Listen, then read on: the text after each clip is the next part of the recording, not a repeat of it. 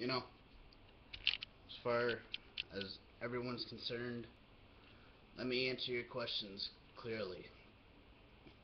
You send me tweets on how I work out and I take steroids. You know, that's false. I don't take steroids and I never will. My body can't handle them. Anyway, it's all natural. Um, you know, it's taken a while, but I'm getting there. And I hope in a few ball hockey seasons that I um, into a extra extra large shirt and uh, you know going there. But the only thing I take is protein, protein shakes. That's all I take.